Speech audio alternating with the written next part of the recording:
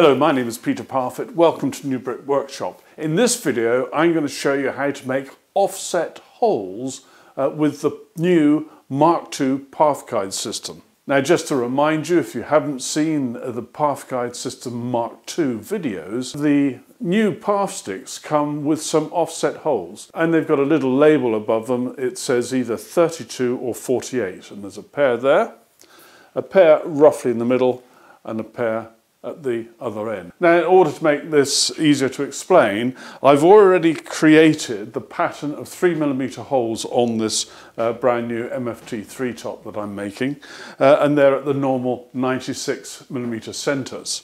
And just to uh, make it even easier to see, I've drawn some green lines, uh, both horizontally rows and vertically columns, uh, which then at the intersections where the 3mm holes are. Now, Here's the new Parf stick and I could place that on there and you probably uh, can see almost straight away uh, that if I line that up just like so, uh, that uh, 0, 1, 2, 3, 4, uh, up to 10 uh, are the holes in the Parf stick. And then we've got these additional ones at 32, 48, 32, 48, and at the very end there, 32 and 48.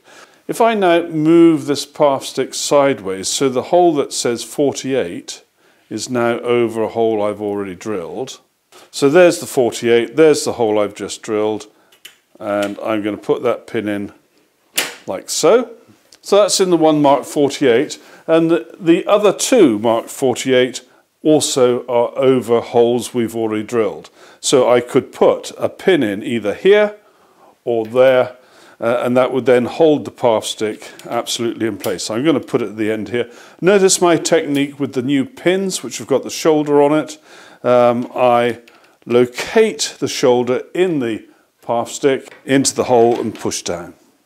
And that Parf stick now is absolutely firmly attached to the bench top. Now, if I now place this second Parf stick here so that you can see what's going on. The 48 is lined up with that green line there and it's lined up with the one that's already here. Now if you now look at the original holes that have got 0, 1, 2, 3 and these are the holes that we used to drill the original pattern of 3mm holes. You've got one which is here, one here, one here and so on. And these are going to be exactly 48 millimeters from uh, the one here. In other words, if, as that's 96, that is exactly in the center. So if you want to do offset holes, uh, which are 48 millimeters from an existing set of holes, you just move the Parf stick over so you've got pin through a 48, pin through a 48 up there, and then the holes which go 0, 1, 2 up to 10 are where you can drill uh, further holes at that 48 spacing. So all of the red ticks that I've put on here now indicate where a 48 millimeter hole would be drilled and that's dead center uh, of the 96 spacings that we've got already. Now let's look at uh, the 32. Now I've taken the pins out, I move this along now so that I've got a 32 here above there, put my pin in, and I can go up to the other end. There's the other 32, so I can get that in there like so.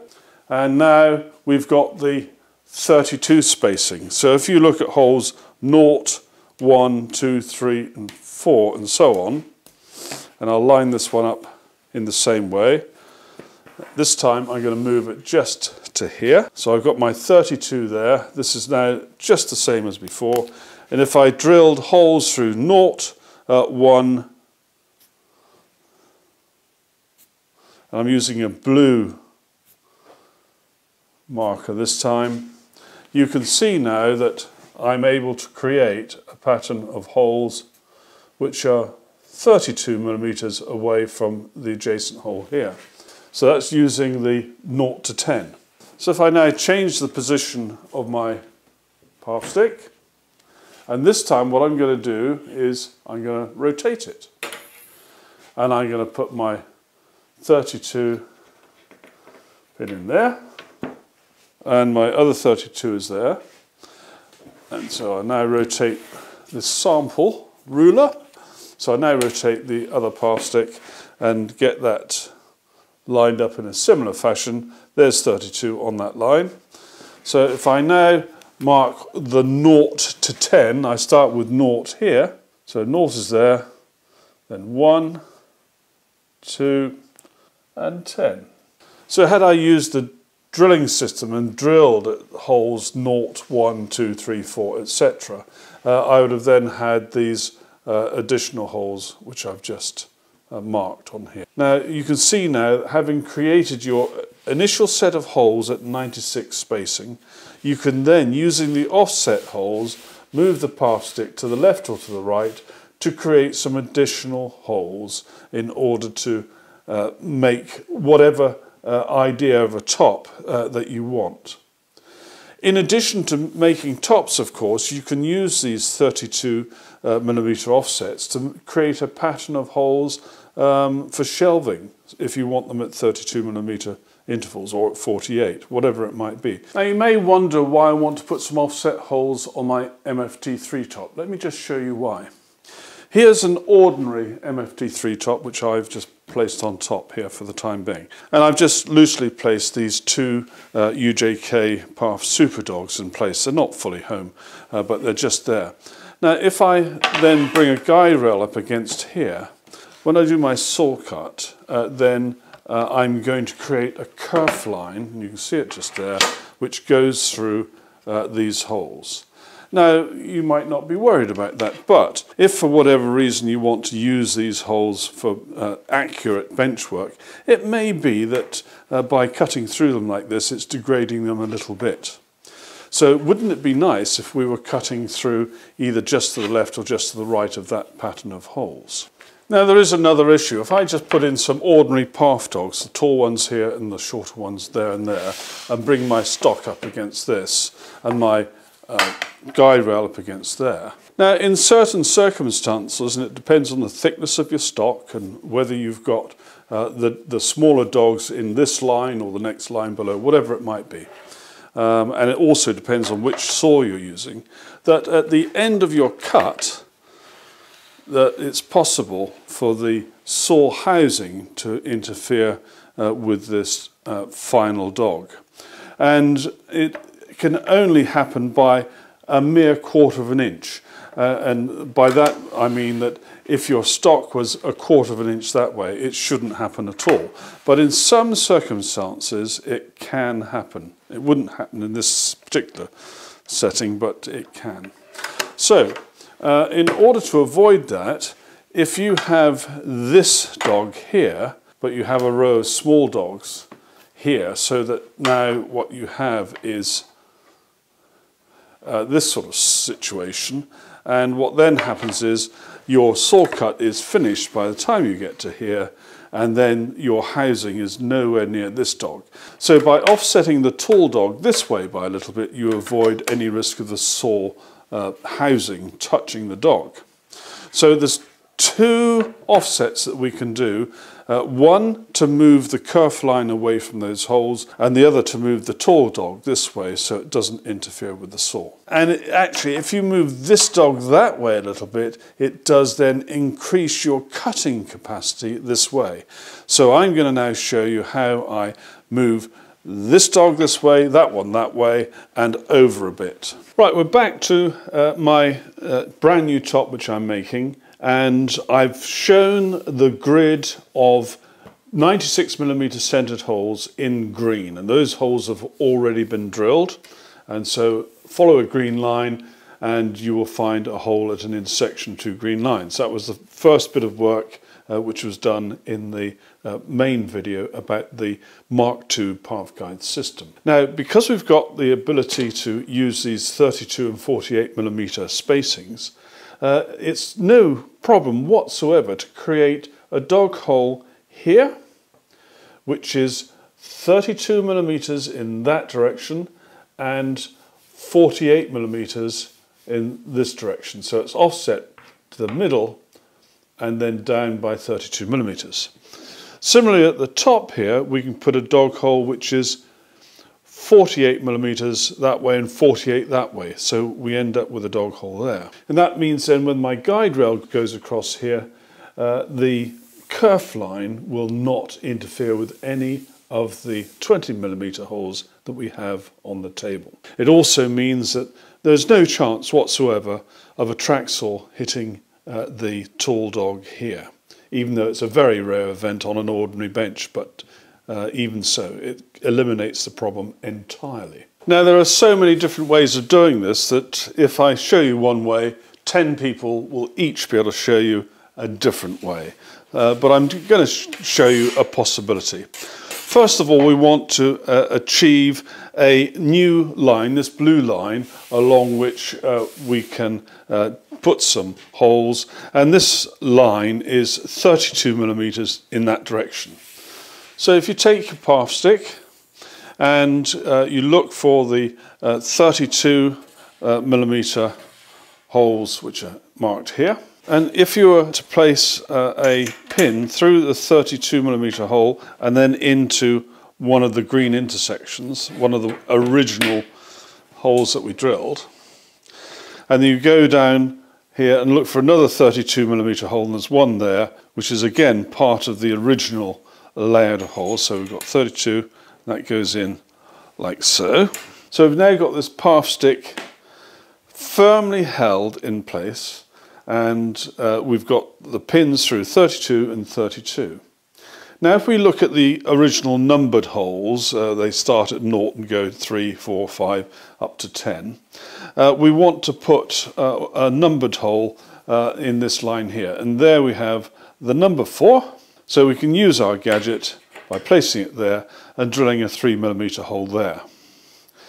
Now I've already done this, that 3mm hole exists and it's just there.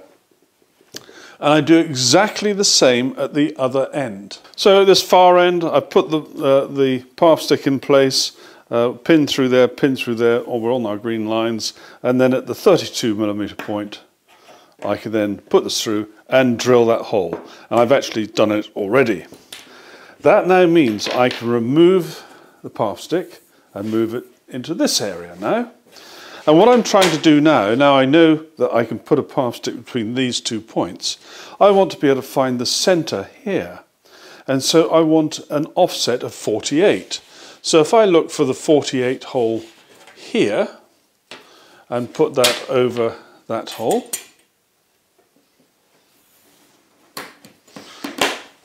And then the other end here, there's another 48. I put that into this hole.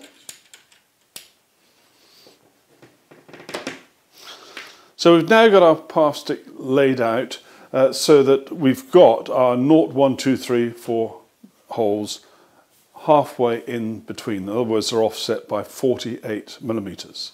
Now, in order to use this block to create a hole, uh, we obviously need to have the drill in it.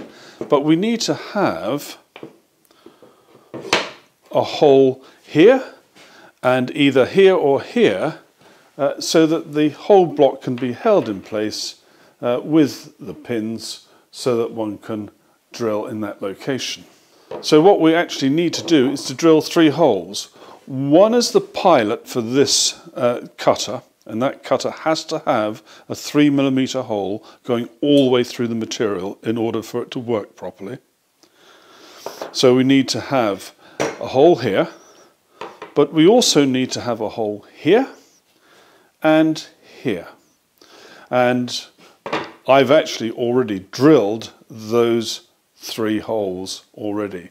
And if I remove this Parf stick now, you can see that those holes are there, there and there. So now I can, can position the 20 millimeter guide block. So I've got the tip of the drill there and I can then insert one pin there and another pin there. And see how easily they go in? It all fits because it's so perfectly well made. And now that means I can now drill that hole there and it's going to be absolutely where I want it to be. And at this top end, we're going to follow a similar process. I'm going to put a pin through the 48 there and a pin through the 48 there, which will then allow me to drill just here for that anchor point which I've already drilled. Same at this end and then drill here and that gives me that anchor point. I can then, I want to be over by 48 so I use the 48 at this end and the 48 at that end uh, and when that's fixed in place I can then drill the three holes I need. One here, one here and one here. So one, two and three. And I've done those already just as before and you watch how easy it is to get these pins in. There's one and there's the other.